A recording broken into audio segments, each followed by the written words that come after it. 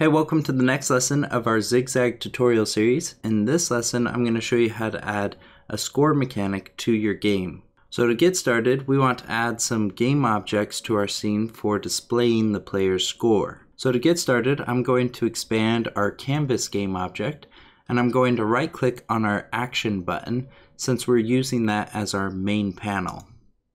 I'm then going to go down to UI and select text we can then rename this object to something like score. And I'm going to change the anchor points to be in the top right corner. I'm then going to reposition and resize this object so that it is in the top right corner of our screen. We can then change the text field so that it is just zero.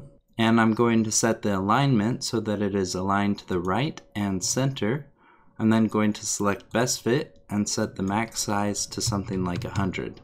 Next, let's duplicate this object by hitting Ctrl D and we're going to drag it onto our Game Over panel. We can then re-enable our Game Over panel and I'm going to position this text object right underneath our Game Over title. I'm then going to center the alignment and we can then disable our Game Over panel. From here we can now start programming our score mechanic and so I'm going to open up our menu controller script.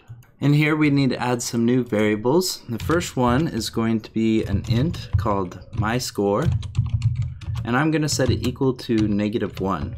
We then need a serialized field of type text and since we haven't added the UI namespace we can select text and then hold alt, press enter and then select add the using unity engine.ui namespace.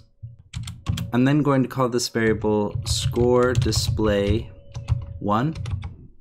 And then we'll need another serialized text variable. And this one's going to be called score display 2. So now we need to create a new function that will add a point to our MyScore variable and then update the score display text objects.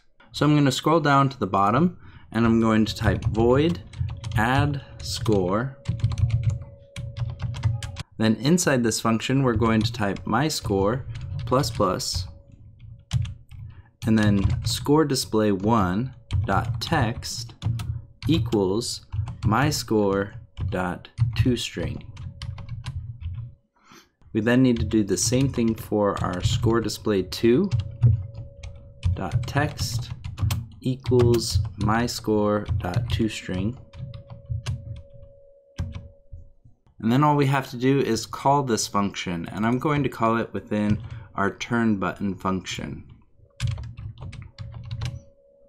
This will make it so that every time our player switches directions, they will add one point to their score. So now let's save this script and we'll go back to Unity. Inside Unity, we need to select our canvas game object because that's what has our menu controller script. We then need to just drag our two text game objects that we just created into our score display 1 and then the other one into our score display 2. So now we can go ahead and play our game and see how it works. So I'm going to start rolling and now every time I change directions you can see that our score is incremented by 1. Then when I roll off of our path our game over panel appears and you can see that our second score display shows the same score. So that's everything that I'm going to cover in this lesson on how to add a score mechanic to your zigzag game.